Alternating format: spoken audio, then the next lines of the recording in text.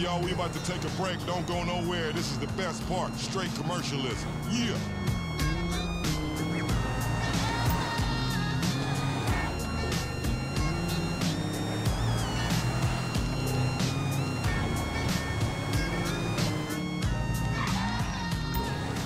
Your professional life as an executive is spent on a corporate treadmill. Why work out on one? Channel your rage into something positive at the Queensberry Boxing Club. All those meetings where you've restrained yourself from smashing another doofus with an MBA in the face, now you can take up the noble sport of yuppie boxing. Take out your aggression and harken back to a simpler time when a man like you would have fought with his fists, not his legal team.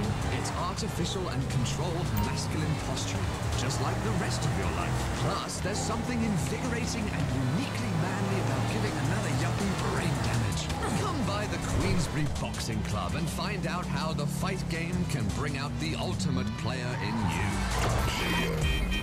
New Stand Music Official, MC8, CM Dub, banging right here on West Coast Classics. Come on, me and DJ Pooh.